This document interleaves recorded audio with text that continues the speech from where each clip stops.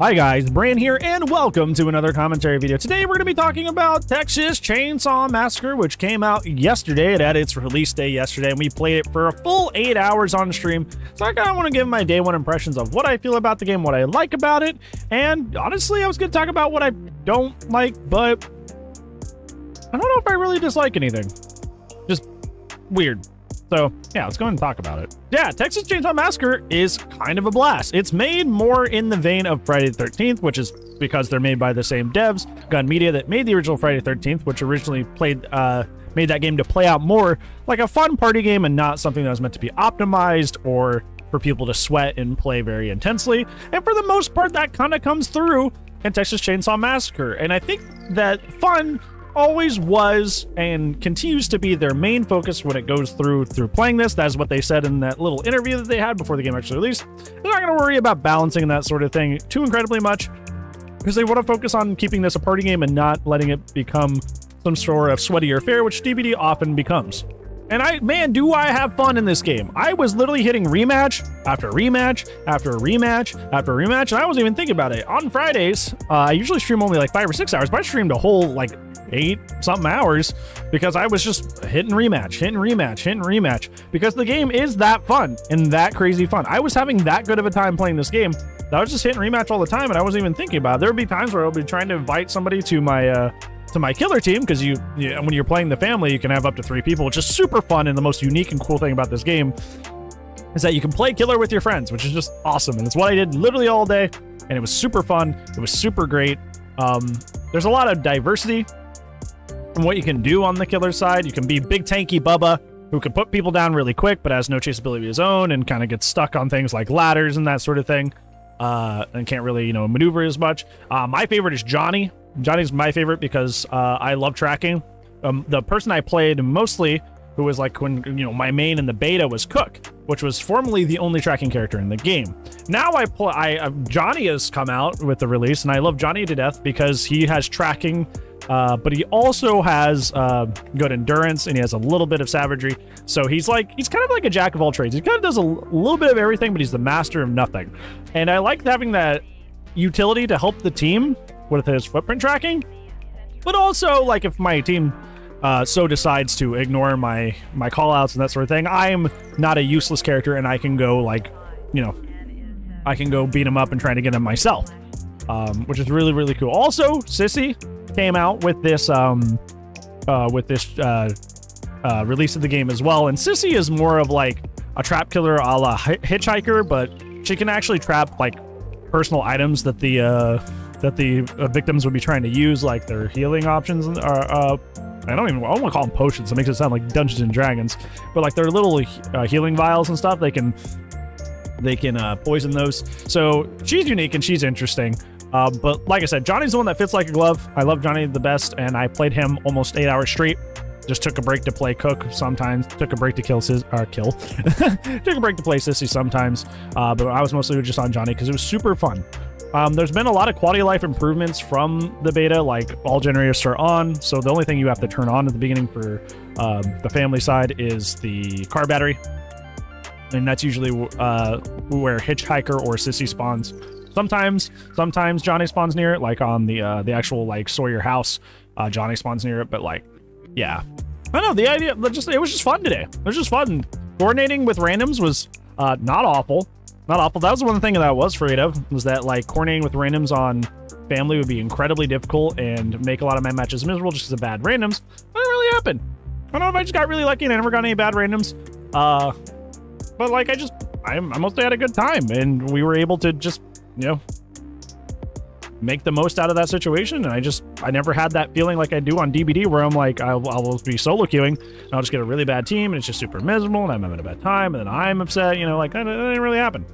That uh, didn't really happen. So I was pretty happy with that. I was pretty happy. And then when I actually started squatting with my friends, oh my gosh, it was so funny. The hilarity of hanging out with your friends, but also playing killer, just, just kiss. Just so entertaining, so fun. And it just, it was just great all around. I don't know what else to say. There's, it's, it's very thrilling, the flow of gameplay. Like, bouncing off your friends. Like, oh, hey, there's Connie down in the basement. You go down in the basement, and they're like, okay, well, I lost her. I'm like, no, no, hold up. Uh, I'll look around for a footprint. And then I walk over and I look down and I track the footprint. I'm like, okay, she's heading this way, you know, and then we try to get back on her trail. And it's like, just that camaraderie. It's just, and that, it's just, it's just good. It's just like, camaraderie feels good. Playing together feels good in Texas Chainsaw Massacre. Playing together feels good. Like I don't want to avoid people. I want to I want to utilize them. I want to play with them. I want to I want to, you know, play alongside them. Like it, it's actually something that I don't want to avoid. Whereas like Dead by Daylight, I kind of like don't want to be around my randoms because who knows if they're going to sandbag me or whatever. Like I don't I don't want to I don't want to hang out with them. I don't want to be around them. But in, in Texas Chainsaw, I, it's, it's fun. It's fun to cooperate. And that's really, really cool. And it makes it really great. It's kind of the flip of Dead by Daylight, where it's like Survivor is more like the together. Everybody's got to pull their weight. Uh, that's with that's what family is. Because if your tracker's bad or not giving out comms, you're gonna have a hard time finding these guys. You're gonna have a hard time finding the victims. Or like, say, if you're Bubba, just like, just completely like you get a bad string of Bubbas who just don't put out a lot of early pressure, uh, or don't help you in chase, and then that's that's gonna be a problem. Like it's just. It, it, it, family is the part that easier falls apart without um, that uh, cooperation. But, but like I said, I never, enter, I not many hours I played it. I run into time where I was like, oh, okay, gosh, this is so terrible. You know, like I was just, it was slightly more annoying sometimes, but like for the most part, it was just mostly just fun. Most people listened. This game has voice comms, so, and most people did have a mic. So like, you know, most people were following that. So it wasn't like there was a lot of people that just were kind of like no miking and just running around, hanging out, doing nothing. And most people were communicating, or at least hearing what I was saying and reacting to what I was saying. So the built-in comms is definitely helpful there. I don't know, it's just it's just a really, really fun experience. I didn't want to turn it off. I had other stuff to do, like record this video. Which is why I ended stream. I'm recording it right after. Um, but like, I would I would have kept playing. I definitely would have kept playing, and I'm going to be playing this probably every Tuesday on my channel at twitch.tv slash Hey, if you want to hang out. Um, yeah, I, I want to play this uh, and put it into my daily rotation, or not my daily rotation, but my weekly rotation, because I do love this game. I do think it's really fun, and it it never feels like anybody's sweating on you. I think the one time it felt like somebody was sweating on me is like there was like a four-man victim team who uh, they had similar names, and they like they ran up and like they were doing the thing that you do at DBD, where like you know you'll be at like shack window, and they're waiting to vault, so you can't commit one way or the other. Um, they were doing that with some of the uh, hideaway hideaway spots, the breakaway spots that you can slip through. That and I was just like, guys, can I can I get some help over here? Um, but even that, like, they made the um, the iframes you get while slipping through those uh, those slipaway spots even less. So I can usually, if they play it kind of wrong and I mind and I mind game them correctly, I'm gonna get a hit. So that's good. And also, once again, most people were listening to comms, so um, if I asked for help, you know, nine times out of ten, somebody did come to help. So, and I, I, the one thing I will say is I, I, did not play Victim at all today. I was having that much fun playing Johnny and playing family with my friends that I just kind of like didn't uh, ever do that. I have heard from some of my friends that Victim seems way weaker than it was on the beta. Because I was I was dying to play Family, I played Family all day, so that's what I did. Some of my friends were dying to play a Victim, which seemed way more fun and independent in, in the beta. And the people were saying it was way weaker. Uh, I didn't notice that. um, I didn't notice that, that we were kind of laying into people, kind of laying into people. I think out of an eight-hour stream, I think out of an eight-hour stream, like collectively, probably had like five escapes. Mm, six, like six escapes. I got eight hours of play. I had six people escape. I noticed that there was a lot of like, no, and I don't mean this to be offensive to anybody. I did notice a lot of more console gamers. A lot, especially in the in, in the evening before it became nighttime. A lot of console gamers who like playing the game probably super casually, have no idea what's even happening, and just kind of turning on the game for the first time. Um, we were laying through people. We were we were pretty devastating as a group. Um, so that's interesting. And I was hoping that it wasn't like the like a, a balance problem that like victim was just way too weak now. And like as the night went on, you know, a lot of the casual people went to bed, and it was like more the gamers that were still up. I noticed matches started to get harder. I was getting more like two or two outs or one outs, but still, that's like you know, that's either a tie or a win, right? So I don't know. It may, it may be something to look at, something to keep an eye on. Uh, obviously, I will probably play Victim at some point, although I don't know when that'll be because honestly, I love playing Family so much in this game that uh, you can't break me away from it. really, I, I would be doing it unwillingly just for the sake of research and not because I want to. Because man, I love playing Family with the friends. It's so fun. It's great. It's something that no other asym offers, and I just I just want to do it all the time. I want to do it all the time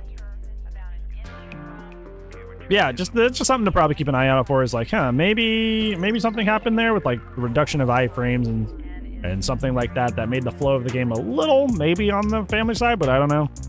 Like I said, I need that's probably something for you guys to also weigh in on because, like I said, on my first day of play, I did not play any victim. I heard I just had people coming in my chat saying that like, you know, family was really really strong. It seemed like, and well, yeah, my stats kind of reflect that. Um, so yeah, just let me know if you guys played it or bought it and played it today and you played Victim, what your experiences were. Um, in general, I think this game is more, I think this game is generally more like um, geared at the individual escapes because like I said, Victim isn't really like a team role. It's kind of like every person for themselves. Um, so that may be on purpose, but I don't know. We'll have to, we'll have to, have to weigh in and see. We'll weigh in and see. But yeah, all in all, if you're looking for a recommendation to buy uh, to buy this game, or if I like it, I love it. I think it's really great. It's really fun. It's really chill. Uh, very. It, it, feels like a party game. It feels like a no pressure game that you can just turn on, hit the rematch button over and over and over, and not really think about it. And it's definitely worth the. It's definitely worth the price tag. It's definitely worth the price tag. The price tag. I'm gonna get a lot of mileage out of this.